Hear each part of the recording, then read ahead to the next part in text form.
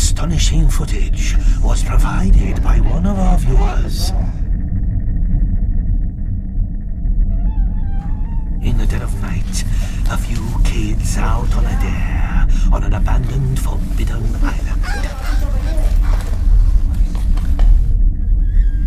Here, the camera clearly catches a terrifying set of eyes watching.